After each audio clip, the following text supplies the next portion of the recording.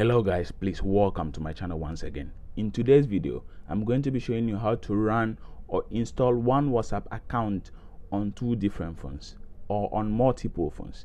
I've earlier on made a video on this particular topic but with that you need a third-party app. A lot of people were finding it very difficult to get that particular app in their various regions. What i am going to be doing right now is to show you how you can be able to do this without any third party app. So as you can see i've got two phones in front of me this being my android phone.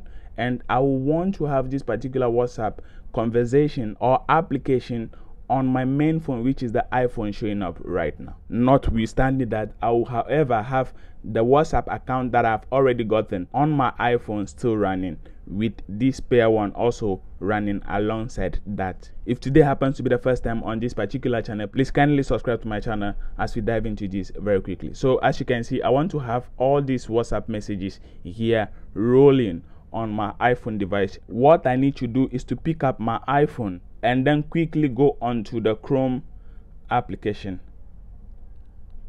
So right now what you need to do is to move on to whatsappweb.com or web.whatsapp.com and once you've got that opened up please you need to tap onto this particular option and then request a desktop site I have already requested a desktop site. So if you've done that, you will be asked to request a mobile site once you've come here. So I have already requested a desktop site. So all you need to do if you opened up the application, please make sure you tap onto the three dots at the right corner right here and then request a desktop site.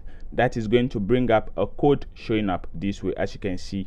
And what you need to do next is pick up the phone or your spare phone which WhatsApp account you want to install or run on your main phone on, on your second phone. So what you need to do is to pick up your second phone this way. And then right here you need to tap on the three dots at the right top.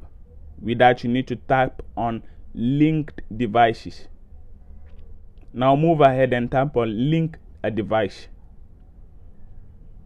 Alright, so you need to scan the code that has popped up on your second phone as I've scanned the code that has popped up on my iPhone device. Wait for a couple of seconds and then all the messages that you have had on your Android device or on your first phone will actually be able to be showing on your main phone as well as you can see I've got all the messages that I've got here rolling on my spare phone I can be able to respond to messages I can be able to start a conversation just like I'll be doing on this my other phone right here. And you can be able to watch status and all that. So all the medias that are being sent onto this particular phone will be gotten here as well. I think you can confirm that for yourself. You can be able to go through all this and then respond to messages just like i am doing right now. As you can see all the messages here are the same. You can be able to tap on any of them and respond